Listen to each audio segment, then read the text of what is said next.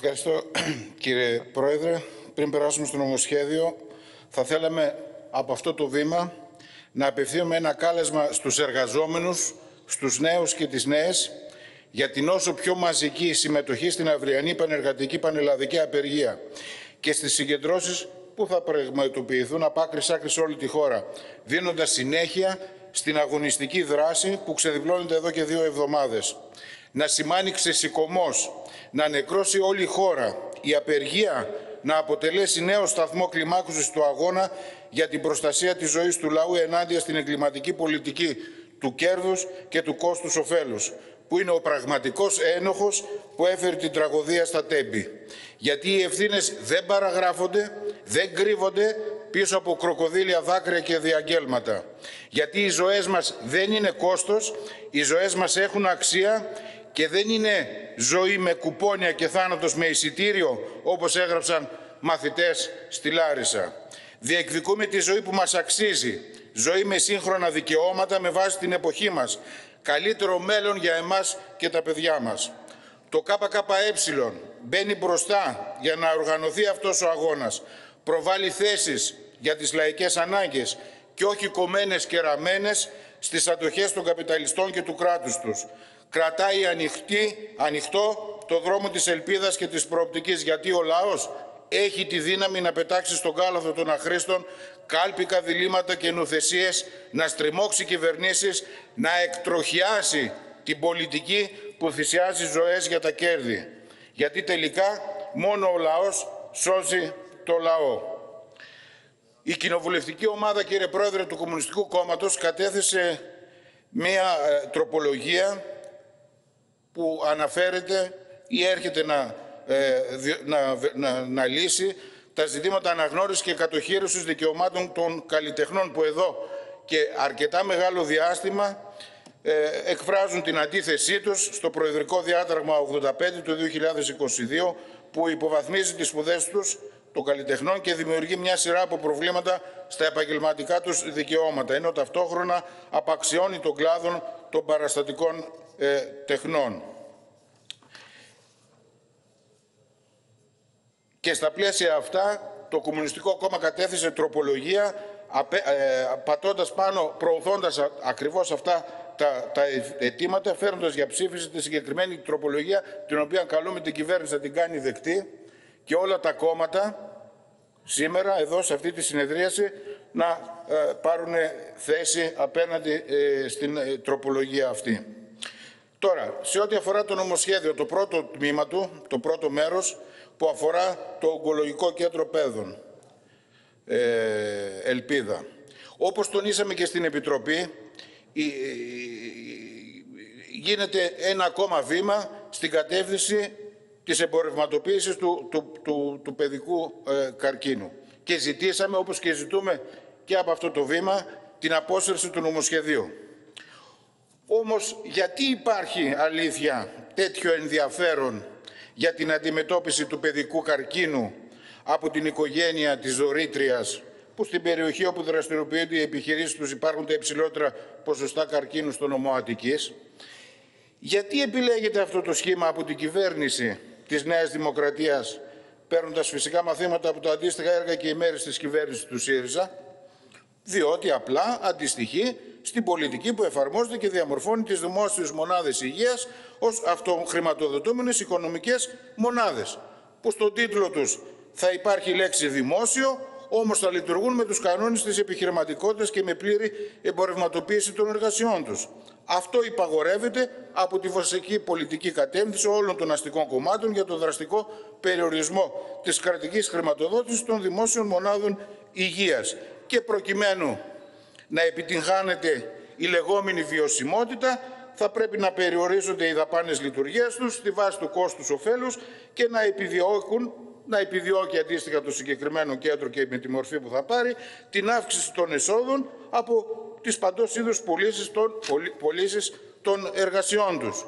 Τι αλλάζει, ότι αυτή η καθόλου νέα μορφή, δεν είναι νέα, χρόνια τώρα υπάρχει και στο σύστημα υγείας αλλά και σε μια σειρά τομείς του δημόσιου ε, ή το ευρύτερο δημόσιο τομέα. Έτσι λοιπόν αυτή η νέα μορφή τι εγγυάται; Την ευελιξία που εξασφαλίζει η μορφή των νομικών προσώπων ιδιωτικού δικαίου.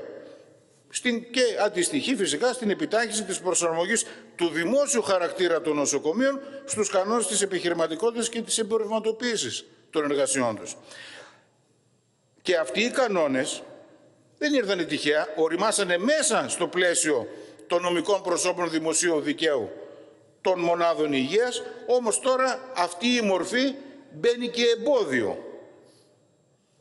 Εποδίζοντας δηλαδή. Ενώ η νέα μορφή, τα νομικά πρόσωπα ιδιωτικού δικαίου, απελευθερώνουν τη δυνατότητα παραπέρα εφαρμογής ακριβώς ε, αυτών των κανόνων της επιχειρηματικότητας και της εμπορευματοποίησης των εργασιών των δημόσιων μονάδων ή των πρώην δημόσιων μονάδων, όπως θέλετε πείτε. Συνεπώς, όσοι υπερασπίζονται, γιατί ακούμε πολλά όλες αυτές τις μέρες στις επιτροπές και σήμερα εδώ θα ακούσουμε ακόμη περισσότερα και ακούμε, όσοι υπερασπίζονται τα νομικά πρόσωπα δημοσίου δικαίου και ταυτόχρονα όμως την υγεία ως κόστος, που πρέπει να εξορθολογιστεί και να νοικοκυρευτεί, ουσιαστικά κοροϊδεύουν το λαό, αφού αποσυνδέουν τη μορφή από το περιεχόμενο. Η κυβέρνηση τι κάνει; Ισχυρίζεται ότι αυτό το κριτήριο λειτουργίας του ΝΠΙΔ, του ιδιωτικού δικαίου, υπάρχει παντού στον κόσμο και ότι η Ελλάδα δεν μπορεί να αποτελεί εξαίρεση. Μα ακριβώς με αυτό το κριτήριο δεν ήταν ή δεν είναι που σε αρκετά καπιταλιστικά κράτη καταργήθηκαν κλινικές, εργαστήρια, ακόμα και ολόκληρα νοσοκομεία, διότι δεν εξασφάλιζαν τα απαιτούμενα έσοδα και σε αντίθεση με τις ανάγκες υγείας του πληθυσμού. Αντίστοιχα και στη χώρα μας. Είχαμε και έχουν κλεισίματα και συγχωνεύσεις μονάδων υγείας με το κριτήριο της χαμηλής πληρότητας, της επικάλυψης υπηρεσιών μεταξύ των μονάδων υγείας ή αντίστοιχα με την επιχειρηματολογία, με το επιχείρημα των κοντινών αποστάσεων και άλλα. Κλεισίματα όμως και συγχωνεύσεις που ο λαός βρήκε μπροστά του με τις θανατηφόρες συνέπειες της πανδημίας του COVID-19. Αντίστοιχα, τέτοια δείγματα ευελιξίας, της λεγόμενης ευελιξίας, αποτελεί και ο, ο, ο τρόπος τελέχου του νοσοκομείου Σαντορίνης, που ιδρύθηκε ως ανώνυμη εταιρεία επιμερών ΣΥΡΙΖΑ Ανέλαντ. Μην το ξεχνάμε. Με εποχική ενίσχυση μέσω αποσπάσεων προσωπικού από άλλες μονάδες υγείας, κυρίως για την κάλυψη των αναγκών πότε, της τουριστικής περίοδου, του τουριστικού κεφαλαίου. Και όχι με πλήρη στελέχωση για τις ανάγκες του πληθυσμού όλο τον χρόνο. Αντίστοιχα, αντίστοιχο παράδειγμα είναι το Ουνάσιο, που και αυτό έχει δημόσιο χαρακτήρα, αλλά η λειτουργία του έχει πλήρη επιχειρηματικά χαρακτηριστικά. Δείτε τι πληρώνει ο κόσμος για τις εξετάσεις, στα εξωτερικά ιατρία ή για να βρει γρήγορα ε, ραντεβού ή για αναβάθμιση θέσεων και πάει λέγοντας. Λέει η κυβέρνηση το από την άλλη μεριά και το διατυμπανίζει. Το ακούσαμε και αυτό και στις επιτροπές και σήμερα εδώ. Ότι όλες οι υπηρεσίες που θα παρέχονται θα παρέχονται δωρεάν στους πολίτες, στους άπορους και στους ανασφάλιστους. Ε, το είπαμε και στην Επιτροπή. Πρόκειται για χοντρό ψέμα. Όλοι οι ασθενείς θα πληρώνουν τα νοσήλια μέσω του ΕΟΠΗ που οι ίδιοι οι εργαζόμενοι χρηματοδοτούν μέσω των ασφαλιστικών εισφορών. Αλλά και οι δαπάνες για τους ανασφάλιστους παραπέμπονται στο νόμο που επιβαρύνει το ΕΟΠΗ, δηλαδή τους ασφαλισμένους. Δεύτερον, στους πόρους της χρηματοδότησης του κέντρου, πρώτα απ' όλα αναφέρονται τα έσοδα από τα νοσήλια. Αυτό αντιστοιχεί με την πολιτική περιορισμού ή και μηδενισμού της κρατικής χρηματοδότησης για τις ανάγκες της περίθαλψης των ασθενών. Δεύτερον, η αναφορά στο νομοσχέδιο για έσοδα πέραν των νοσηλείων από συναφείς ιατρικές πράξεις αφήνει ακριβώς ανοιχτό το ζήτημα των άμεσων πληρωμών των ασθενών και των οικογενειών τους για εργασίες που δεν περιλαμβάνονται στα νοσήλια και στην αποζημίωση από τον ΕΟΠΗ. Επίσης, εδώ, εδώ υπάρχει το εξής ε, ζήτημα σε αυτό το κέντρο, το εξειδικευμένο κέντρο, θα γίνονται μελέτες και έρευνες, οι οποίες θα αφορούν την υγεία του παιδικού πληθυσμού και μάλιστα με σοβαρές διαταραχές κτλ. Αυτές όμως οι έρευνες και μελέτες, από τους οποίους θα προκύπτουν επιστημονικά επιτεύγματα, τι θα αποτελούν; Πατέντες. Ποιον; Των ερευνητών του κέντρου και τις όποιες όμως; Ιδιωτικής φαρμακοβιομηχανίας. Και αυτό σημαίνει ότι η εφαρμογή τους θα γίνεται με όρους αγοράς. Είναι και αυτό ένα στοιχείο ακριβώς της σαπίλας της καπιταλιστικής ανάπτυξης. Έτσι λοιπόν το συγκεκριμένο ογκολογικό κέντρο παιδών, ελπίδα, εξασφαλίζει από το νομοσχέδιο τη μοναδικότητα και αποκλειστικότητα στον τομέα του παιδικού καρκίνου, απορροφώντας τα σχετικά τμήματα των δύο παιδιατρικών νοσοκομείων, συνεπώς και την αποκλειστικότητα στον τομέα της έρευνας από την οποία θα εξασφαλίζει πρόσθετα έσοδα. Ουσιαστικά τα προνόμια που του παρέχονται στη λειτουργία του και στην αποστολή του το διαμορφώνουν ως ένα πανίσχυρο κρίκο της έρευνας και καινοτομίας προς όφελος όμως των, της ε, φαρμακοβιομηχανίας, των φαρμακοβιομηχάνων. Συνεπώς, μιλάμε για ένα κέντρο που θα χρηματοδοτείται από τη φορολογία του λαού για το προσωπικό του μέσω του Υπουργείου Υγείας, θα αποζημιώνεται από το λαό για τις εργασίες του, έμεσα μέσω του ΕΟΠΗ και άμεσα για τις λεγόμενες, όπως αναφέρεται μέσα, σχετικές ιατρικές πράξεις, δηλαδή από την τσέπη των ασθενών, όμως το πεδίο της έρευνας και των μελετών στους ασθενείς που θα περιθάλπει θα αποτελεί ιδιοκτησία του κέντρου και των φαρμακοβιομηχανιών που τις αγοράζουν. Να λοιπόν, γιατί το Κομμουνιστικό Κόμμα απορρίπτει το νομοσχέδιο. Και βέβαια το γεγονός ότι η κυβέρνηση της Νέας Δημοκρατίας και το Κοινοφιλές Ίδρυμα αξιοποιούν τον ευαίσθητο τομέα του παιδικού καρκίνου, τα σύνθετα προβλήματα των οικογενειών παιδιών με καρκίνο, προκειμένου να αποκτήσουν τι, την κοινωνική ανοχή για ακριβώς αυτές τις αντιλαϊκές επιδιώξεις και πολιτικές που υλοποιούν, αποδεικνύει ότι είστε αδίστακτοι. Γιατί αδίστακτα αντιλαϊκό είναι και το σύστημα που υπηρετείτε. Συνεπώς η απόρριψη του νομοσχεδίου, όπως είπα, είναι αυτονόητη και ταυτόχρονα Χρειάζεται, αυτό λέμε ως κόμμα, να δυναμώσει η λαϊκή πάλι η ανάπτυξη σε πανελλαδικό επίπεδο όλων των αναγκαίων δημόσιων μονάδων υγείας, πλήρως τελεχωμένων και εξοπλισμένων, που θα παρέχουν απολύτως δωρεάν όλες τις σύγχρονες υπηρεσίες πρόληψης, θεραπείας και αποκατάστασης και για τον παιδικό καρκίνο. Με ανάπτυξη της έρευνας που τα αποτελέσματά της θα τα απολαμβάνει δωρεάν ο λαός, ενώ θα διαχέονται ως νέα γνώση σε όλους τους επιστήμονες σχετικά με το αντικείμενο του παιδικού καρκίνου και όχι μόνο. Και ένα πρόσθετο στοιχείο που επιβεβαιώνει τις, τις οδυνηρές επιπτώσεις της ιδιωτικοποίησης των μονάδων υγείας, του κριτηρίου δηλαδή της επιχειρηματικότητας και της ανταγωνιστικότητας στη λειτουργία τους, του κόστους ωφέλους, είναι το αποτέλεσμα ακριβώς της εγκληματικής πολιτικής στην περίπτωση των τρένων στα τέμπη, που και εκεί αποδείχθηκε ότι τα ίδια κριτήρια έχοντας οριμάσει σε εισαγωγικά του βάζουμε, δημιούργησαν το πολύ νεκρό έγκλημα. Πρόκειται λοιπόν για τα κριτήρια ανάπτυξης αυτού του σάπιου συστήματος που οι λαϊκές ανάγκες έως ακόμα και η ανθρώπινη ζωή μπαίνουν στη ζυγαριά αυτού που λέμε κόστους ωφέλους υπέρ των επιχειρηματικών ομήλων. Και με αυτά τα υλικά έχει συγκροτηθεί και το μέρος του νομοσχεδίου που αφορά το ογκολογικό κέντρο, το οποίο λειτουργία θα έχει στον τομέα του ακριβώς την ίδια αντιλαϊκή κατεύθυνση αλλά και αποτελέσματα.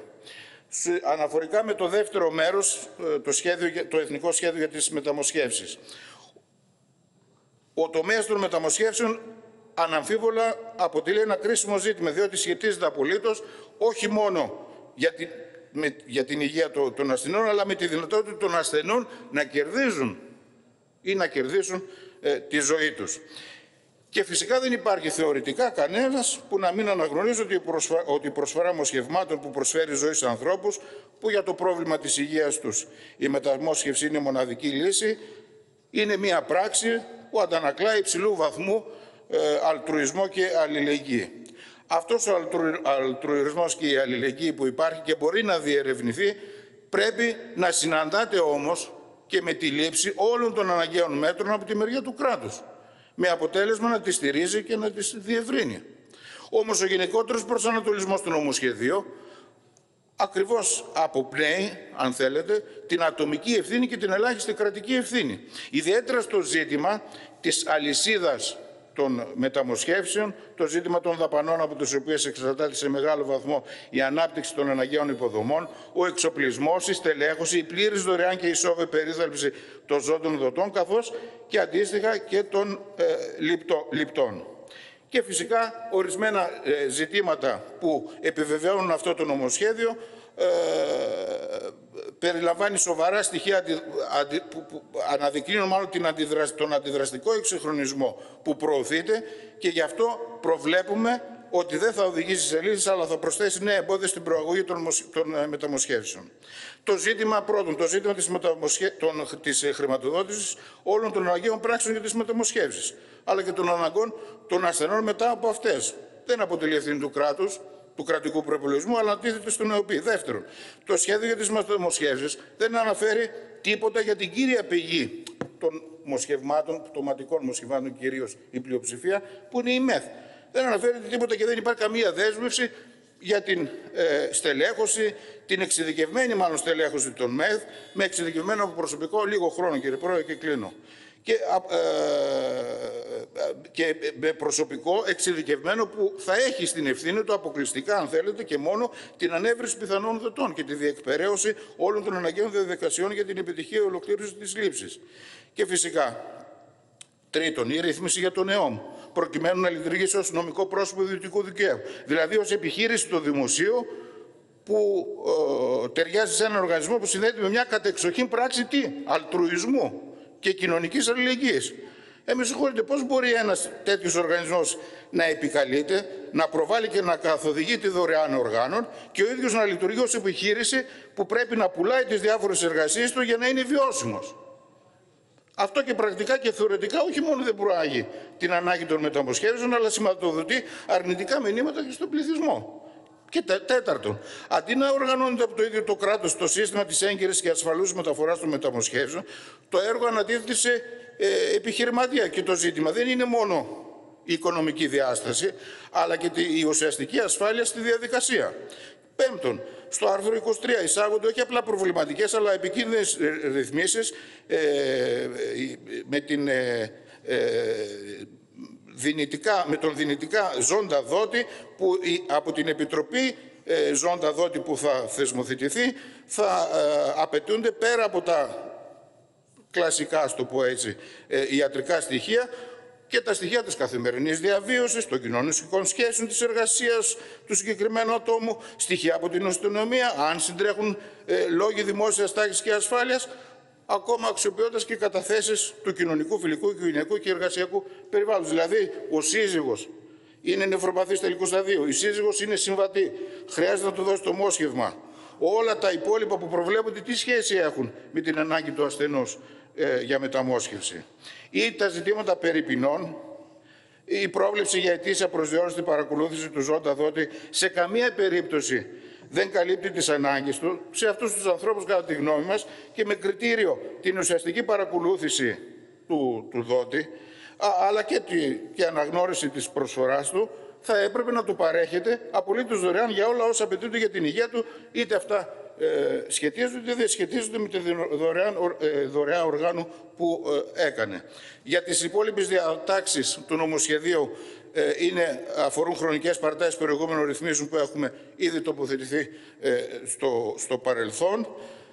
τα μέτρα που εφαρμόζονται εκεί ή τέλος πάντων που παρατείνονται δεν έχουν ενισχύσει το ΕΣΥ με κριτήριο την ουσιαστική βελτίωση των παροχών προς ασθενείς, αλλά στην πράξη επιβεβαιώθηκε και επιβεβαιώνεται καθημερινά η επιδείνωση των όρων παροχής των αναγκών σε υπηρεσίες υγείας. Και φυσικά έχει ενισχυθεί ο εξαναγκασμός των ασθενών να προστρέχουν στον ιδιωτικό τομέα για παροχές ε, υπηρεσιών υγείας, βάζοντας βαθιά το χέρι ε, στη τσέπη. Επομένως, τα άρθρα του νομοσχεδίου δεν απαντούν στις ανάγκες της λαϊκής υγείας, αλλά κυρίως σχετίζονται με αντιλαϊκές ανατροπές και με ευκαιρία την, την πανδημία.